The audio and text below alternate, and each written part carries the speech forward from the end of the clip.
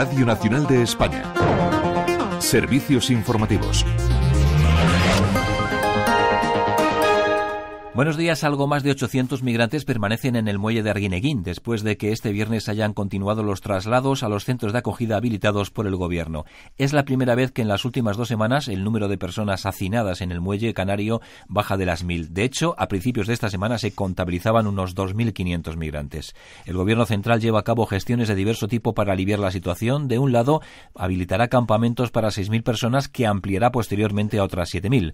Descarta, sin embargo, un traslado de migrantes a la península Dice el ministro del Interior, Grande Marlasca, que sería establecer una vía de entrada no solo al conjunto de España, sino al de Europa. En el programa Parlamento de Radio 5 Todo Noticias, la portavoz de Coalición Canaria en el Congreso, Ana Oramas, lamenta que esta medida, la del traslado, no esté entre las que contempla el Ejecutivo es una forma de convertir Canarias en una Lampedusa, un Lesbos o en una jaula, como dice el presidente del gobierno de Canarias.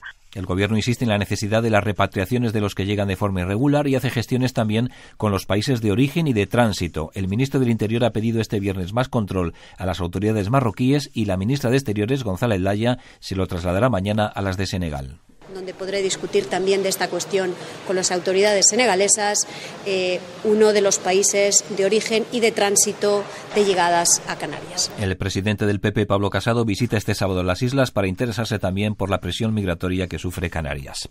Las cifras sobre contagios por COVID siguen bajando. 15.156 casos en las últimas 24 horas. Es la cifra más baja de contagios diarios en el último mes. La caída de casos rebaja la incidencia por cada 100.000 habitantes, 419. Una cifra en todo caso lejana aún del objetivo básico que es de 60 casos por esos 100.000 habitantes. Ninguna comunidad está cerca de la tasa. Las que presentan mayor incidencia son Castilla y León, País Vasco y La Rioja, las que menos Canarias, Baleares y Madrid. En Murcia, donde la incidencia también se reduce, algunos municipios como Cartagena relajan las medidas contra el coronavirus establecidas para la hostelería. El ministro de Sanidad, Salvadorilla, sigue apelando a la cautela, sobre todo ante la llegada del frío y de periodos festivos como el Puente de la Constitución y luego las fiestas navideñas. Vamos mejorando, las medidas dan efecto, pero todavía estamos muy mal. Y además estamos en unas fechas delicadas. Estamos a las puertas del invierno. Eh, pocos días empezaremos el mes de diciembre, es un mes donde hay un incremento importante de la movilidad, por los días festivos que hay, por, la, por todo lo que va aparejado a las Navidades. Y ahí hemos de lanzar un mensaje a la ciudadanía de precaución.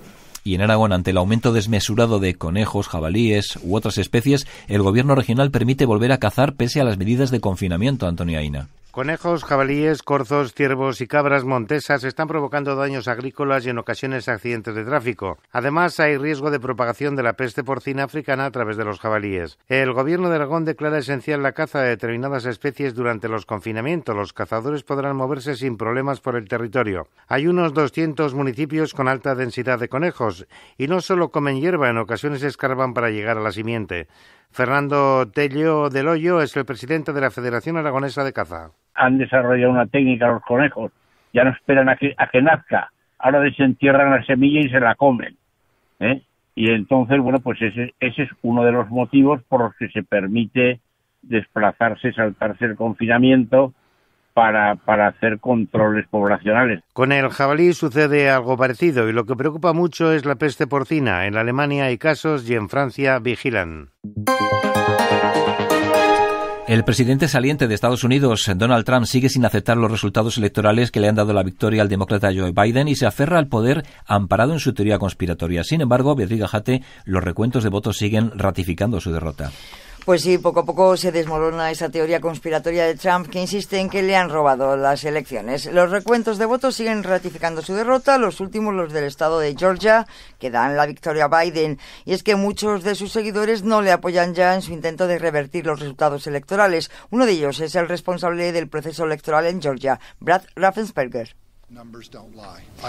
Los números no mienten, creo que los números que hemos presentado hoy son correctos, ha dicho. Mientras Joe Biden ha reunido, se ha reunido ya con los líderes demócratas de Congreso y Senado para definir los pasos que dará su gobierno los primeros 100 días en el cargo. Entre las prioridades, respuesta contundente contra el COVID-19 y apoyo financiero a pequeños negocios y familias en dificultades por la pandemia.